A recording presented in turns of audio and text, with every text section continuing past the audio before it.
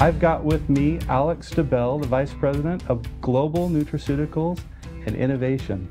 And we just have a few questions that we want to ask you today. Awesome. Great to be here.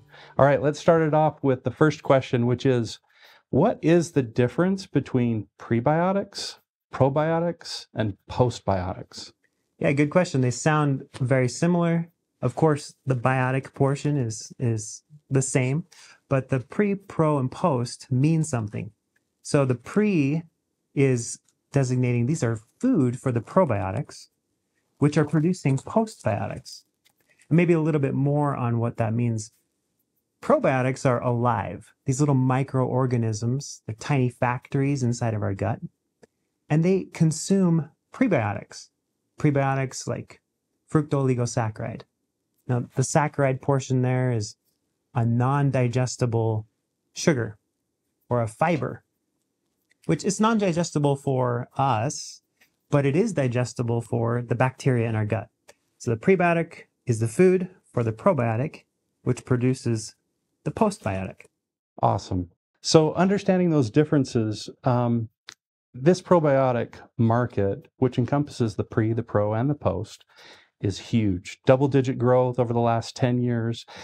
Right now, there are more people that consume a probiotic than a multivitamin every single day. And that's about 86% of households.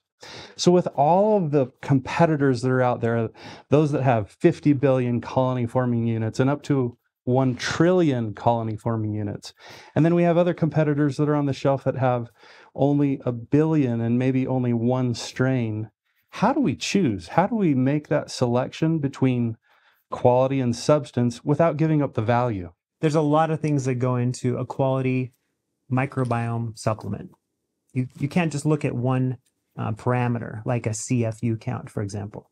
There are a lot of different aspects that you should be considering. It's not all about the CFUs? It's not all about the CFUs. Okay. So you and I, we've talked a little bit. Dr. O brought this up. Dr. Brannick brought this up. In our discussions in looking at our existing line as well as forward, there are four critical factors in choosing a pre, pro, and postbiotic. The first one is the quality of the species and strains. The second is the potency. The third is the survi- survivability. That's a word, I think. Survivability. Yeah, and then the fourth is backed by science. We really want that clinically tested species and strain. So let's start with the first one. Why is the quality of the species and strains so important when we're really looking to help improve our microbiome? Yeah, we need um, there are many, you've heard in the previous calls that there are many different types of strains that we're exposed to that are living inside of our gut that are providing all these different benefits. And it makes sense then that we provide a variety of strains in our probiotic supplements. So if you look at PB Assist Plus and PB Assist Junior, for example, you see a variety of strains. And that diversity is key to having a robust microbiome. There are thousands of strains in the gut. Um, Dr. Brannick mentioned that.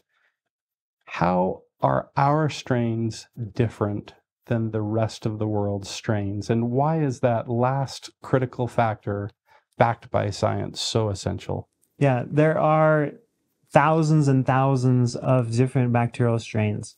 And it's it's really interesting because you can look at the genus and the species and the strain number. And there's some similarities between these, of course, you know, uh, different strains have a shared species or a shared genus. But when you get at that genetic level, what's happening with these bacteria? They're each unique, just like us. They're each unique and they perform different roles. And so when we talk about the bacteria and the microbiome supporting multiple areas of the body, this is possible because these bacteria are slightly different. And so we need to select bacteria that have been studied in robust clinical trials for these different health benefits that we're going after. And that's what we've done. So, can we come back to my earlier question on the CFU count? Why is it that it isn't just about the total colony forming units when I'm looking at the back of a label? Yeah. So, the colony forming units, and there, that's a way to designate how many cells are there, how many bacteria are in the product. And I lump the potency or the colony forming units together with the survivability because we're not just going after a really high number of CFUs. we're really looking to deliver those CFUs, those live functioning bacteria, to the gut where they can perform their role. So survivability and CFUs or bacterial count go together. Are there competitors out there that um, that may declare on package that their strains are only potent at the time of manufacture versus and how do you dis- distinguish between what the CFUs or the autofluorescent units are actually claiming on the label? Yeah, it's an important distinction, and it's one of the reasons you know we we've been very careful with the formulation and design of these products to have that survivability. We want what we're claiming on the label. We want the consumers to have confidence that that number of bacterial cells is what they're consuming and what will survive in their gut. Some products, as you mentioned, may have a really high colony forming unit count at the time of manufacture, but that doesn't do us really any good unless that's what we're actually consuming. So we're less concerned about at the time of manufacture.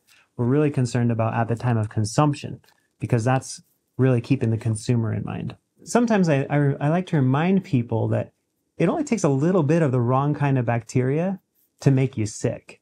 So you can understand that a healthy bacteria, a probiotic, doesn't need to be a trillion bacterial cells to provide that benefit. But what is really critical is that it gets to the right place alive, right? And so that goes to kind of the survivability. We need to have a delivery mechanism to get those bacteria to your intestines alive and functioning well. And we do that with uh, our dual chamber capsules, with our microencapsulation, a couple of really unique features that are just really a, a nod to that survivability component. Awesome. The dual cap that provides that outer layer and then that inner cap layer. It's something that's very proprietary and patented it really helps it get to the right place at the right time. That's right. And then the microencapsulated strains that are in P. junior, those also protect those strains and species and allow those to get into the right place at the right time. That's exactly right. We have acids throughout our gastrointestinal tract, and the stomach is designed to neutralize pathogenic bacteria, but we want those beneficial bacteria to survive. So, in the scientific world, in the academic world, you hear of two types. You have this transient, um, if you will, strain, and then you also have these ones that they they take up residency and they stay a little bit longer, maybe a little bit like our family members. they kind of come and go as they please, or they set up and maybe stay a little bit too long, or they're welcome and and they set up camp and, and enjoy their stay. And um, tell tell us a little bit more about the transient versus the residential strains? Yeah.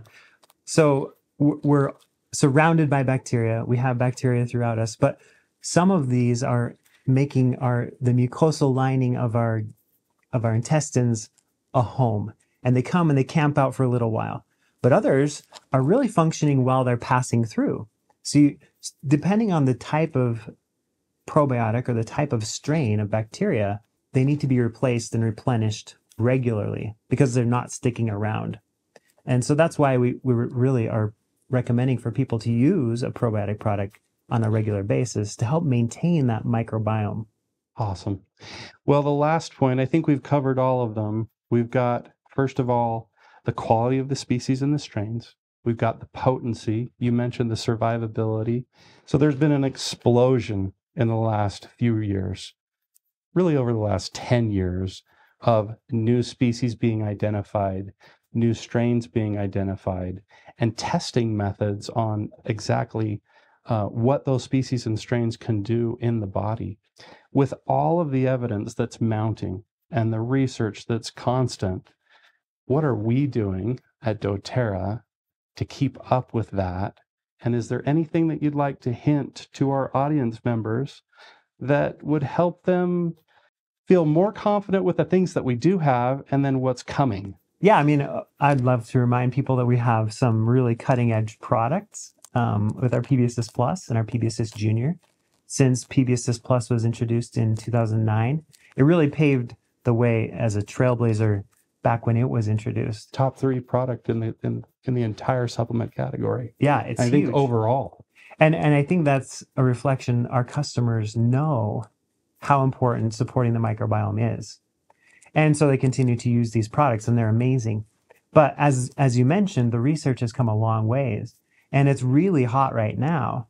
And so um, we are actively capturing all of that latest research to put together in some pretty exciting new products that you probably need to come to convention to hear more about. Do you want to share a little bit more? Come on. Audience, do you want to hear more? Well, yeah, we can we can mention a little bit. We've got some pretty cool uh, revolutionary changes to our microbiome product offering. And we'll be really excited to introduce those at convention. You've heard a little bit about this, the importance of the microbiome in the previous calls with Dr. Osguthorpe and, and Dr. Riggs. And of course, we're really zeroing in on all the research that has happened over the past 10 to 20 years. We mentioned prebiotics, probiotics, postbiotics, even phages, um, and the roles of those. We're going to do more of a deep dive at convention. There's some really cool research. Okay, so convention is only a month away. What can people do right now to help support their microbiome health? Well, I begin supporting your microbiome by getting a convention ticket. and then, of course, um, we've got a couple of amazing microbiome products that people should be using already. As I mentioned, bacteria are constantly moving through us. We need to replace them and be using them. And these PB Assist Plus and PB Assist Junior are amazing products to use. And then we've given a little bit of information for people. Do a little bit of research, do your homework, and come to convention. We can't wait to have those conversations with you.